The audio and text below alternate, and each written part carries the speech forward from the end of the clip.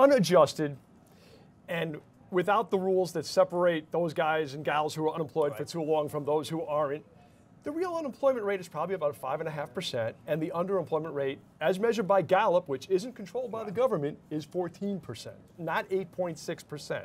People agree? Yeah.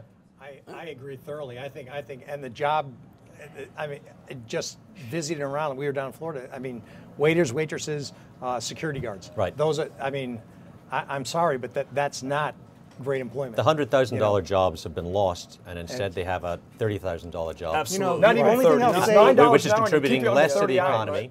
I'm than the happy to be negative. I'm usually negative. The one thing I think we get us stuck a little bit in this area, particularly in the finance industry, where we're kind of going through the throes of all the electron. You start moving away. There's weird little pockets of the country I think that are doing well. You know, anecdotally, we're talking to some lawyers who do a lot of housing in Michigan. That's been picking back up. You know, Detroit scraping off the bottom. So Yeah, there some base are. there. Vulcan Materials this morning on aggregates, southeast, parts of southeast doing quite well, but that and that's building. That's for real. So Lots I of think- and there's credit Right. there. I just think that still the employment numbers are realistic.